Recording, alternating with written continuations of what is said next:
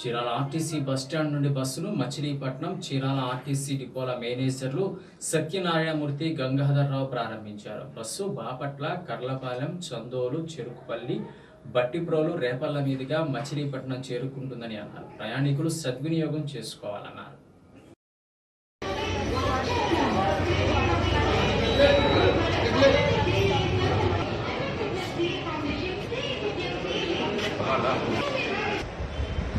కృష్ణా జిల్లా కేంద్రమైనటువంటి మచిలీపట్నం నుంచి ప్రకాశం జిల్లాలో ఒక ముఖ్యమైనటువంటి పట్టణమైనటువంటి చీరాలకి గత వారం రోజుల నుంచి ఒక నూతనమైనటువంటి అల్ట్రా సర్వీస్ని ప్రవేశపెట్టడం జరిగింది. ఈ సర్వీసు మచిలీపట్నం చల్లపల్లి రేపల్లె బాపట్ల మీదుగా చీరాలకు వస్తుంది. రోజు రెండు ట్రిప్పులు జరుగుతుంది ఉదయం తొమ్మిదిన్నర సాయంత్రం ఐదు ఇరవైకి చీరాల్లో బయలుదేరుతుంది. ఈ బస్సుకి ఆన్లైన్ రిజర్వేషన్ సౌకర్యం కూడా ఉంది ముప్పై రోజుల ముందుగా రిజర్వేషన్ చేయించుకోవచ్చు.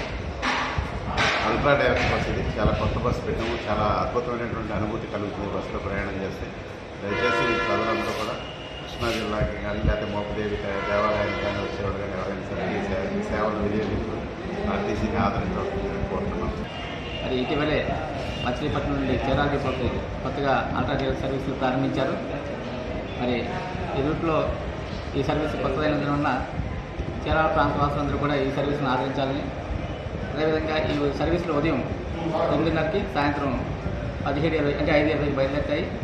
మరి మోపిదేవి గుడికి వెళ్ళే వాళ్ళు కూడా ఈ భక్తులందరూ కూడా చాలా కన్వీనియంట్గా ఉంటుంది కాబట్టి ఈ సర్వీస్ని ఆదరించి ఏపీఎస్ఆర్టీసీని ఆదరించాలని కోరుకుంటున్నాము ప్రకాశం జిల్లా చీరాల మండలం పాత చీరాలలో అక్రమంగా బంకమట్టి తరలిస్తున్న ఇప్పుడు చీరాలలో ఎముకల సమస్యలకు ఓపీ మరియు ఎక్స్రేకి డబ్బులు ఖర్చు పెట్టవలసిన అవసరం లేదు. Sri Kamakshi care hospital church road Chirala. Cell nine triple zero eight zero eight one nine eight. Managing director Tadivalasa Devaraju.